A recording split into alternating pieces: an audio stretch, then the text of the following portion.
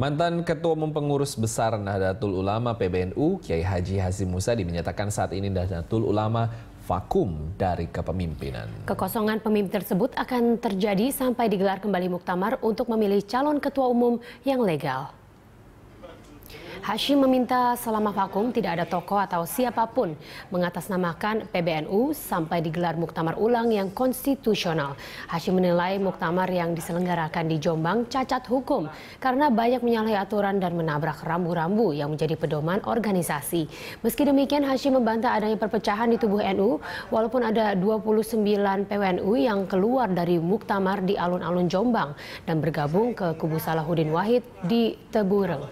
Muktamar NU di Jombang Kamis lalu telah memilih KH Maruf Amin sebagai Rais Am PBNU masa Kitmat 2015-2020. Sedangkan KH Said Akil Siraj sebagai Ketua Umum PBNU.